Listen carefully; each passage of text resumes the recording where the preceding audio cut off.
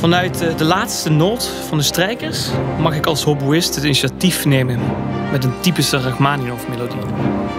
Deze melodie ontspint zich verder met de klarinet en de saxofoon en er lijkt wel een soort paringsdans te ontstaan in de houtblazersgroep. Als hoboïst eh, kan je alleen maar dankbaar zijn met zo'n geniaal geschreven intermezzo.